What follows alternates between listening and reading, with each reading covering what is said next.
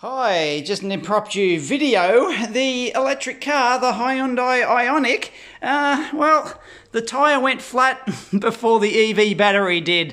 Um, yeah, it's got a puncher and it's a really fast uh, puncher. It's got these um, energy saver tyre. Oh, I don't know if you can read that. It's a bit dark. Energy saver um, tyres on them, you know, low rolling resistance tyres, blah, blah, blah.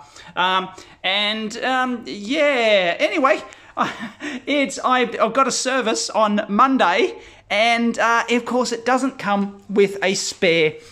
Uh, tyre to save weight and space and everything else, which is, you know, important on an EV.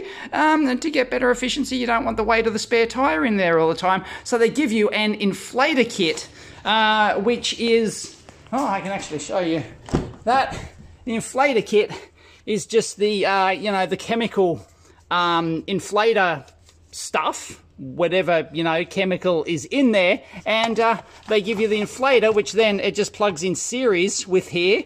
And uh, then it pumps the tyre full of the uh, chemical. And that um, seals the tyre and hopefully gets you home. So, I haven't actually found the puncher on it yet.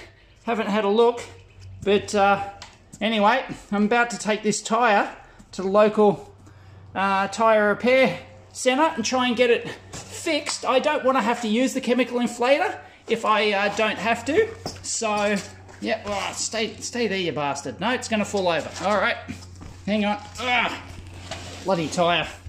I was standing up before. But anyway, I thought I'd show you there's the, uh, there's the front brake pad, which has probably almost never been used um, because it's an EV, of course, it has regenerative braking. Even if you switch um, it off, it still uses the regen, uh, like if you put it in coast mode, um, it still uses the regen uh, braking un until, unless you absolutely slam on the brakes, only then will the discs actually come on. So yeah, like there's no, there's, I don't think there's any pad wear on that at all. Of course, you know, there's stories about EVs get in like you know the the life of the car before they need a pad uh, re replacement on them. So anyway, so I doubt that uh, it's ever been used. But anyway, I have no idea about cars, so Thought I'd just show you in here for those curious. Not sure if that's uh, what sort of... That's not the motor, I don't think. But uh, anyway, it's in there somewhere. And I don't know, there's the struts for those playing along at home or into your car stuff. But that's it.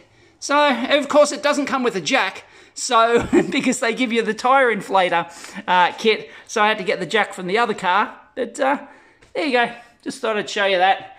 Virtually, I've done 16,000 kilometres and 12 months. So I get my 12 month service on uh, Monday.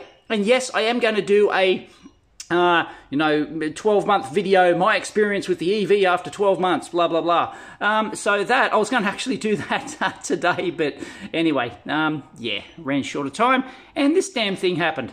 So, and of course, I was going to drive while I did it. So, yeah, that's not going to happen.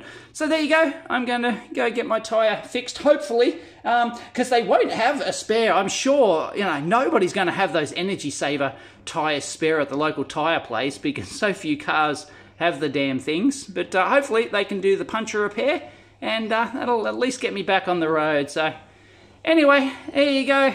Catch you next time.